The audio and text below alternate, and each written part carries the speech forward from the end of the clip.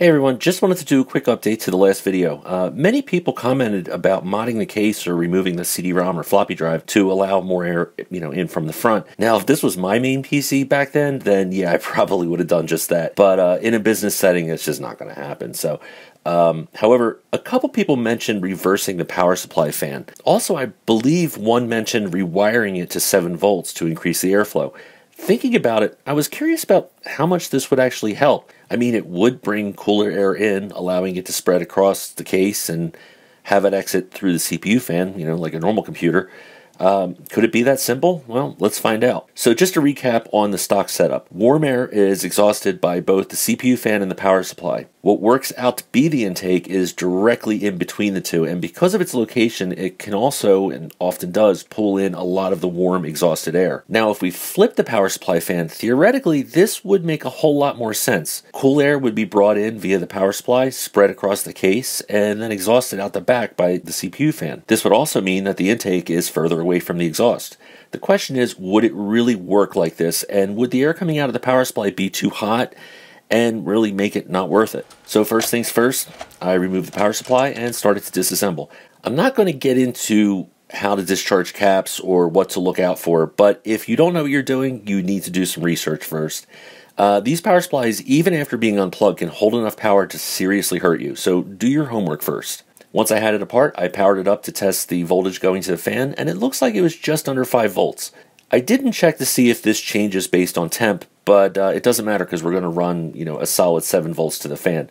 Now I did check and 12 volts obviously works, but it makes the fan a bit too noisy, so 7 is a good in between.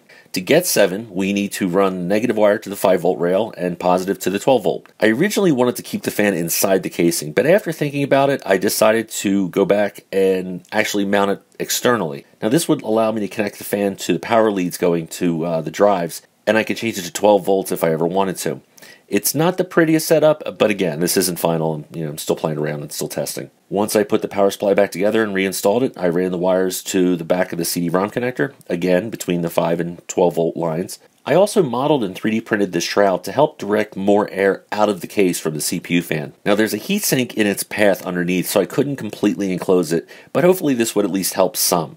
I'll leave a link to where you can download this if you wanted to. Um, and you're more than welcome to modify it and repost it to Thingiverse. Um, I, it was just something quick I did, so yeah, have at it, have fun. I also placed the thermocouple uh, back into the case in the same location as it was last time, so we can check the case temp. Well, since everything's working, let's close it up and let it cook. I let the PC sit at the desktop idle for about 30 minutes, and as you can see, the temperature is only slightly above room temperature which is an insane difference. Last time, its idle temperature was around 60 degrees and close to 70 when we ran it at full load. What's the temperature this time at full load? Well, it's actually only a tiny bit warmer. This is a crazy difference from before, but I wanted to make sure it wasn't just because the fan was blowing, you know, onto the thermocouple.